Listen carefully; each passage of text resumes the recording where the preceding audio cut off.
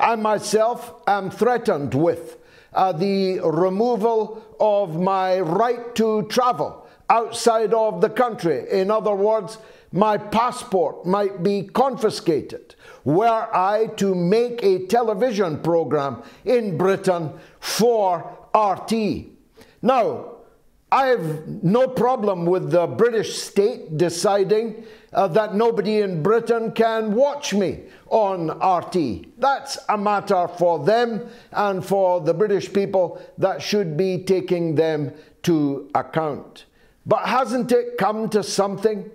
When a figure like me, almost 30 years a member of the British Parliament, I think most people would agree a prominent voice in British politics for many years, a man who not even one year ago polled 22% of the vote in a parliamentary by election. Someone like me, the leader of a registered British political party, the Workers' Party of Britain, a man whose work has appeared everywhere from the Sunday Times to the Spectator to the New Statesman to the Guardian, all over the place.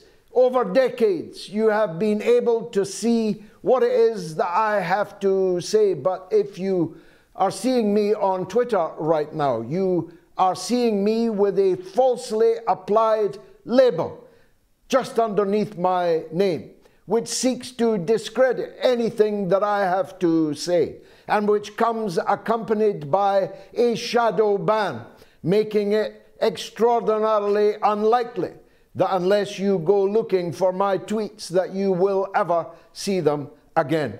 My lawyers, KRW Law, human rights lawyers in Ireland, have written to the world headquarters of Twitter in Dublin warning them that if they do not remove this false label from me in seven days, seven working days, which is up tomorrow, then a legal action against Twitter to force them to do so and to secure damages for the harm that has been done by the false application of this label will ensue.